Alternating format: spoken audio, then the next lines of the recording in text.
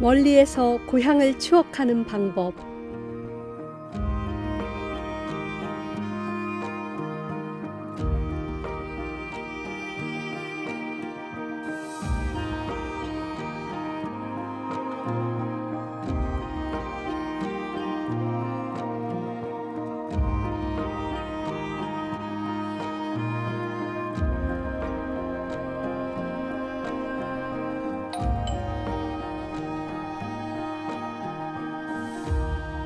멀리에서 고향을 응원하는 방법.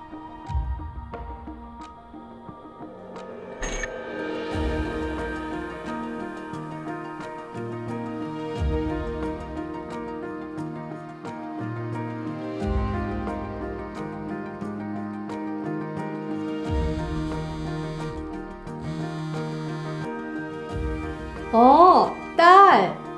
어, 오빠. 아, 뭐 이런 걸 다 보냈어. 정읍에 기부했더니 이렇게 답례품을 주셔서 그래?